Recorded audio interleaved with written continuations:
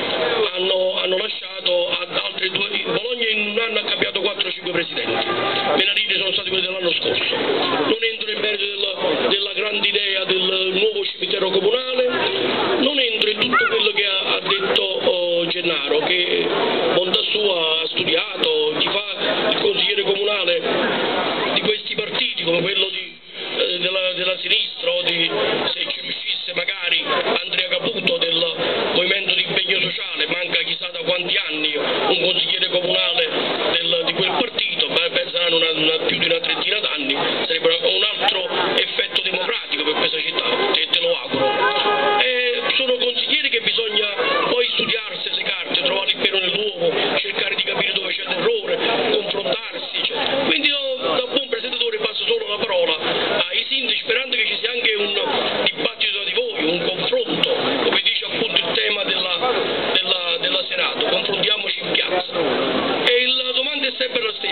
stessa, sviluppo e occupazioni, quale prospettiva hai tu, dottor Vincenzo Carfora, per questa città?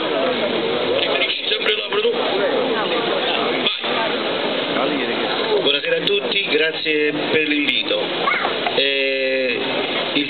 È unico, quindi è inutile parlare di tantissime cose, però una piccola riflessione sull'intervento di Gennaro Laudiero ci vuole. Eh, sentendo Gennaro Laudiero mi chiedo perché non è candidato al sindaco, ha un programma ottimo, delle idee stupende e però a un certo punto ci vuole anche qualcosa per poterle realizzare.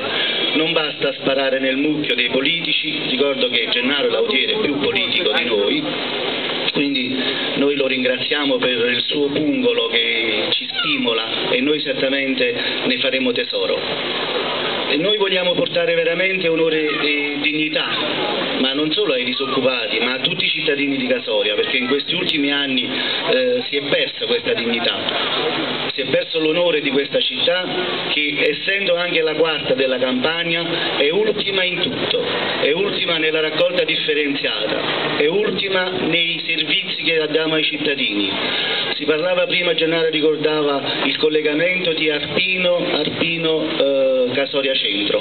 Bene, io in Consiglio provinciale ho fatto diverse interrogazioni sul problema. L'ultima risposta sapete qual è stata? Che la Regione deve tagliare il 20% del suo budget, quindi non potrà garantire questo ripristino della A7. Però però c'è un però.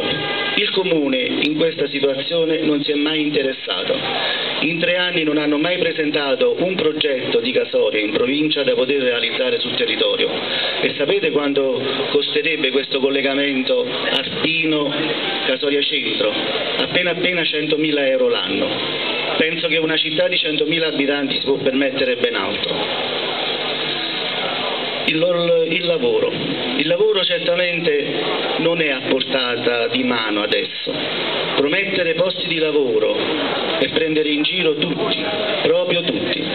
Il lavoro deve venire fuori dallo sviluppo, lo sviluppo della nostra città, che può passare attraverso l'ovulo, può passare attraverso... Io mm, sinceramente delle auree dismesse non preferisco parlarne, perché poi vedremo in seguito. Ma Certamente lo sviluppo deve arrivare, deve arrivare dalla raccolta differenziata, dal riciclo completo dei rifiuti. Io ho detto esempio Vede Lago, ognuno di voi non vi sto qui a scocciare, può andare su internet, ormai siamo tutti informatizzati, può vedere che cosa fanno a Vedelago. Riciclano tutto, il 99,9%. Quindi cosa significa? Significa non andare in discarica, ad esempio c'è San Sebastiano al Vesuvio che fa l'88% di differenziata e va una volta a settimana in discarica. Il problema che qualcuno dice di aver risolto nel 2008, che ha tolto la spazzatura e ha fatto grandi feste dando beneficenze, dando onorificenze, dando cittadinanza a chi ha tolto questa spazzatura, oggi vogliamo sapere perché non ci riesce. Quindi le bugie o le ha dette prima o le ha dette dopo. Il lavoro verrà fuori però da una sinergia, il lavoro verrà fuori dal, dalla sinergia tra le istituzioni, tra le imprese e i sindacati. Solo così ci sarà uno sviluppo, non ci può essere un caos, una giungla, bisogna avere delle regole perché siamo in un paese democratico parla, si, è parlato dell'Opolo e probabilmente abbiamo capito che si aprirà domani, probabilmente, c'ha tutti i permessi, c'ha tutti. Però vogliamo sapere anche un'altra cosa, il più Europa, che fine ha fatto il più Europa? Le ultime notizie ci dicono che la Regione ancora devono arrivare, stanno ancora aspettando i DOS, cioè il documento operativo strategico, stanno ancora aspettando i progetti di cantierabilità, stanno ancora aspettando il partenariato con i privati. Bene, il più Europa ha una scadenza, arrivati in quella scadenza si perderanno i soldi del più Europa. Vorremmo sapere a che punto sta ma realmente questa situazione del più Europa. Naturalmente bisogna favorire gli imprenditori che vogliono venire a lavorare su Casoria e dare possibilità di lavoro ai casoriani. In che modo? Abolendo tanta burocrazia, snellendo questa burocrazia, favorendoli fiscalmente, questo è l'unico, passaggio per poter dare dei lavoratori, perché il Comune certamente non è un centro per l'impiego, non ha possibilità di assumere persone al Comune che voi sapete benissimo, sono i patti di stabilità, sono le leggi regionali, le leggi nazionali, è inutile dire io vengo, vi darò il posto a tutti quanti, faremo i discorsi della qualunque. Quindi noi non vogliamo dare lavoro, il lavoricchio, non vogliamo dare questi posti di lavoro ad esempio nel cimitero di Casoria eh, tramite un subappalto per tre mesi, quattro ore, oppure ai vari Conad, ai vari, vari centri commerciali.